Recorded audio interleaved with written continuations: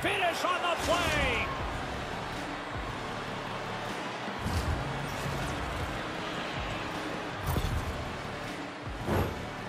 The good thing he one-times his puck. The goalie almost gets there, but the pass is on his tape in the low slot, and he beats him clean.